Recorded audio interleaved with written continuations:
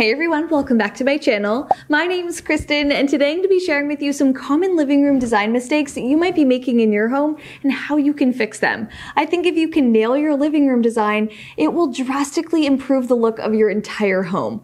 Living rooms and family rooms are usually the most complex when it comes to decorating, styling, and furniture choices. So there's a lot going on in those spaces and there's a lot of mistakes that can happen. So I hope this video gives you some ideas on ways that you can improve your space. If you enjoy watching watching and find this video helpful, make sure you give it a big thumbs up and hit that like button, and let's go ahead and jump right into it.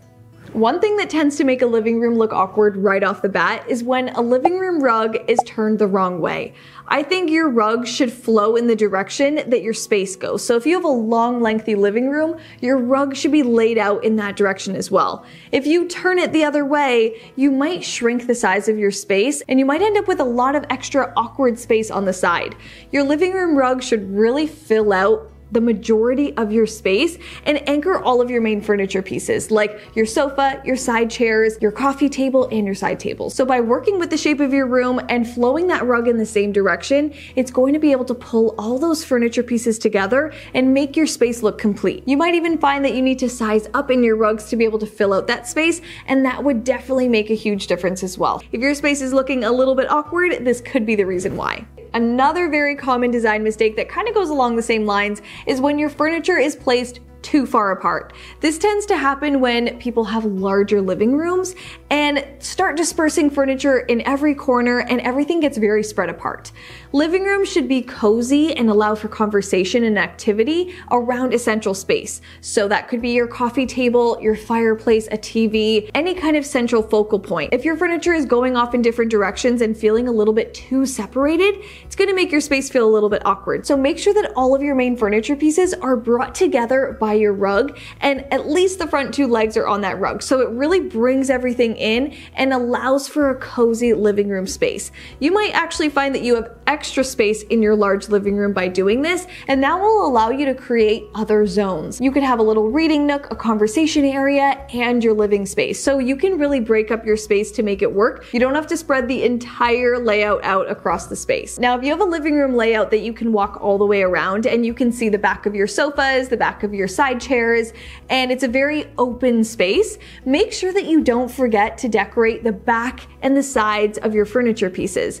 Just decorating from one angle is a design mistake. I think you should decorate your space as a whole so that every way you see it, it looks incredible and complete. The back of your sofa can be styled in so many ways. You can use throw blankets, console tables, benches, baskets, anything that's really gonna finish off that piece. You can also do this with your side chairs. You can throw over a throw blanket just to add some texture and pattern, and it will help bring together your space as a whole. So don't forget about the back and the sides of your furniture pieces. If you can see them walking through a doorway or entering that space, make sure that you complete them with some extra decor. Now, I think it's a bit of a design mistake to have a lack of storage in your living room.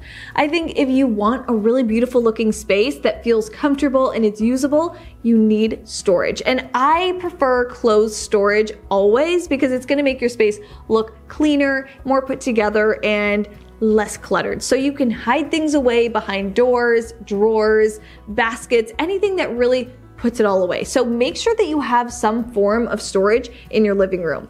If you don't currently have it, you can come up with creative ways like having ottomans that open up that have storage inside. You can even invest in sofas that have storage underneath or coffee tables that allow for storage as well. Having those main furniture pieces also double as storage will absolutely help make your space look better because everything will always be tidy. So consider small pieces that you can add to your space or consider investing in big furniture items that also allow for storage. Now, something that every living room has is a coffee table. Your coffee table is that central piece that ties together the room. It really allows for entertaining and styling and functionality.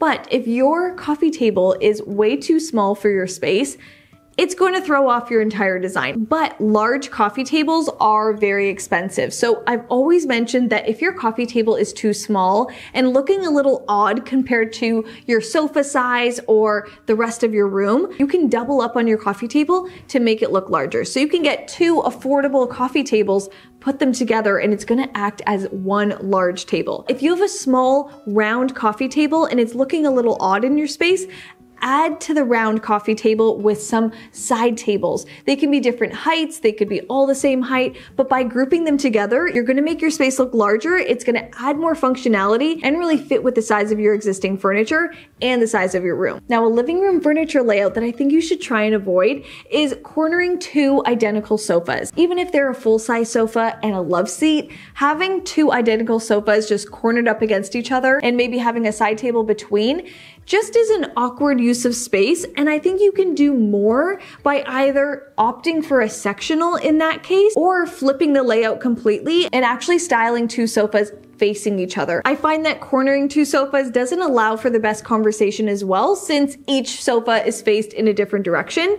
I think if you're gonna create that kind of layout, you might as well do a sectional so that you have that extra seating and it really looks a lot more complete. This is a little bit different if you're going for two different style sofas and it's a design decision to choose two different sofas cornering them and also having side chairs and coffee tables and really creating a complete layout. I just find that having two matching sofas pushed together looks a little odd and I think it would be a better choice if you have the space for it, try and flip them so that they're facing each other. I think you're gonna feel like your space is so much more cozy. You're gonna allow for more conversation. You'll have easier access to your coffee table and it will really help anchor and style your space. I think it's always a design mistake to just rely on your overhead lighting.